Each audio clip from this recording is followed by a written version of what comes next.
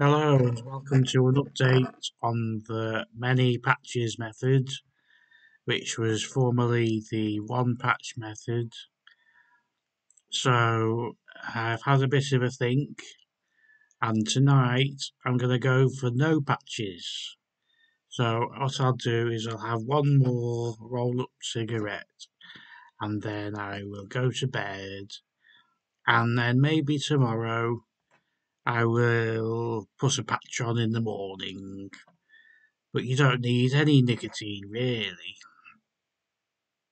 So I'll prepare my little roll up cigarette. Excuse me for wearing my pyjamas. Nobody watches anyway, so it doesn't really matter. I've got some uh, Gizeh. Is that backwards or forwards?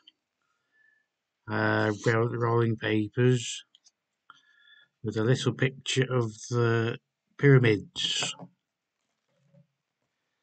It's all good fun. I've got some uh, paper filter tips, which are good for the environment. I think the local birds like them not the women. I don't mean the women. I mean the actual birds in this in the nest. They seem to take the. That's what happens to your teeth if you smoke. They seem to take the the the the used filters. They seem to take the used filters and add them to their nests. But maybe that's all in my imagination. I have a vivid imagination. So if you have quit already, don't do this part. You don't need a cigarette. This is all part of the process. Every time I cut down is good. It adds time to my life, hopefully. In theory, anyway. So, cutting down is good, quitting is good, trying to quit is good.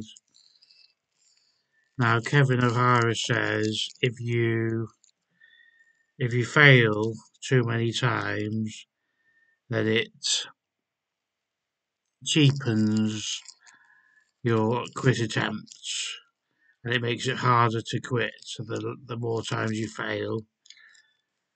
Uh, that might be true, but um, you could take it as maybe it's a 1% chance that you'll succeed each time. So if you try enough times, maybe it'll work.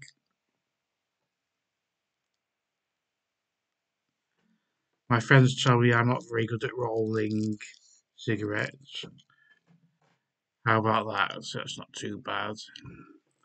Anyway, I bought some patches. They were uh, very expensive from the pharmacy. We just, my, my partner and I just drove past the pharmacy uh, here, and it was open at almost midnight, which is very unusual. But I think they have a scheme where uh, each pharmacy in the area takes it in turn to be open late, so that must have been what it was doing. I have some decaf coffee. Mm. I need a shave. I might have a nice shave in a minute. So the question is, will I be able to wake up and resist the temptation? Because that's the key thing. Because you do get a buzz from a cigarette sometimes, particularly in the morning, particularly after a meal, something to do with the blood sugar, that is. Uh, so some cigarettes give you a little bit of a hit. So I I don't like to say you're missing it when you quit, but it's not there. But you get pleasure from other places instead. I do believe that.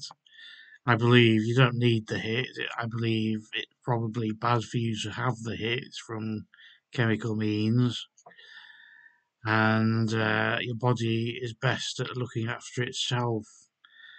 So any any pleasurable hits you get in the present will just detract from your life in the future somehow, one way or the other.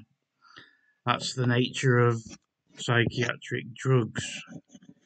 You can sort you can sort something out in the present, but you'll take away from your future self.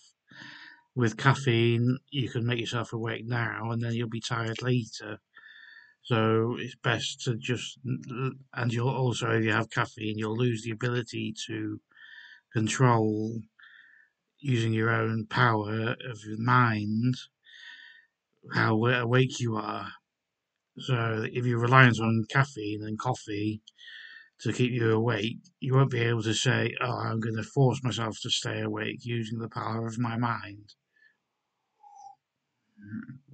because by using caffeine habitually, that's what you've done to yourself. You've you've lost the power to control whether you're awake or not just by willpower. And as as uh, as and similarly with cigarettes, it's the hit you get from a cigarette is not it's not unique. It's it's a it's a burst of pleasure. It's uh, a book I'm reading by uh, Carolyn something or other, I think she's called, says that it raises the heart rate, and and that we confuse that for a high. So maybe that's the case. I don't know. Anyway, I'm going to bed, so I'll try and quit in the morning. One last one, and then a patch. Maybe I'll put the patch on now. Yeah, I think that's what I'll do. Wait there.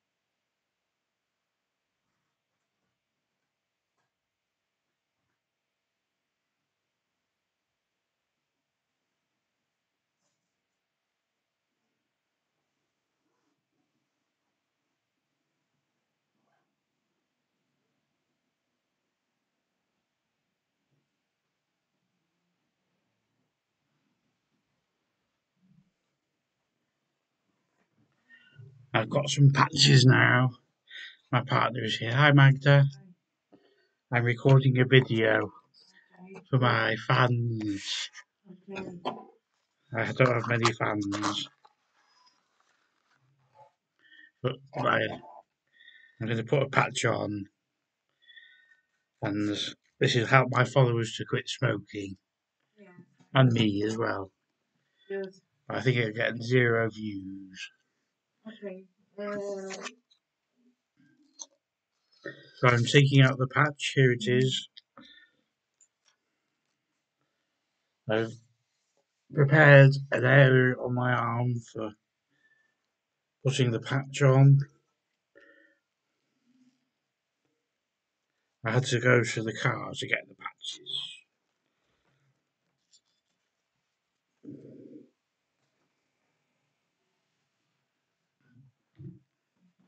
Right, so I think what I'll do next is chop up the rolling papers up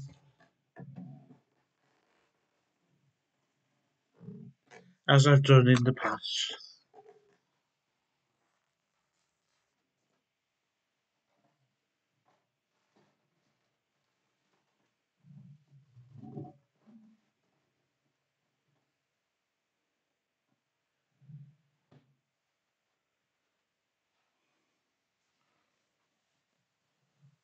See my big tummy there, massive tummy. Right, so I got some. I've been. What I have been doing is buying the cigarillos, which are about six pounds fifty a pack for a pack of ten cigarillos.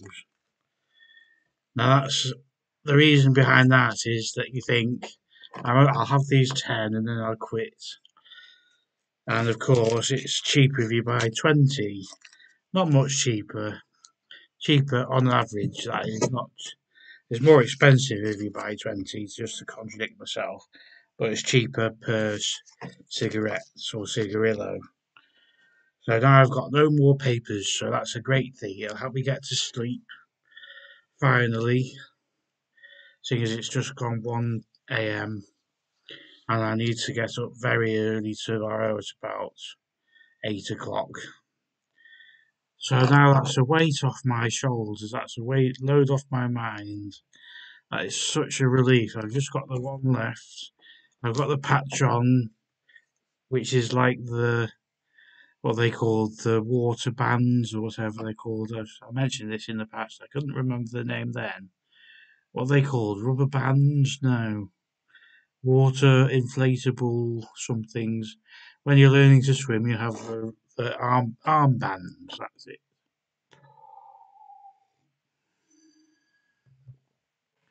The patch is like an armband. So I've got. I can't have any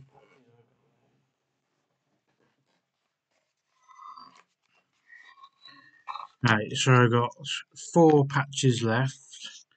Nicorette brand, but any other brand is fine. I believe they're nice and inexpensive in Australia. So in Australia, most cigarettes cost twice the price they are here, even factoring in the fact that their currency is one dollar to, to 50p or something like that. I believe in Australia, nicotine patches and nicotine replacement products are quite inexpensive. So that's only fair, isn't it? Here in the UK, we've gone the way of saying nicotine replacement patches and gum are expensive, cigarettes are expensive, but vapes are quite cheap. So it's fair enough, but I personally think that vapes are very, very bad for you not for everyone, but for people who can't get a grip on how much to use them, I think they're they're worse than cigarettes because you can just vape. I could vape for an hour and I'd be sitting there vaping and vaping. With one of these, it takes two minutes, and then you don't want any more for a good hour or so, usually. Excuse me for wiping my big nose. I, I woke up this morning and my watch had white things on it, like it had been scratched. I don't understand why. Anyway, I tried to wipe them off, but it's still a bit damaged. I've got some diamond paste that I can use to wipe it off, rub it off later, so to polish the watch face. Not that it's a particularly great watch. My friend Nick likes watches. I don't understand why. Anyway, I'm going to smoke and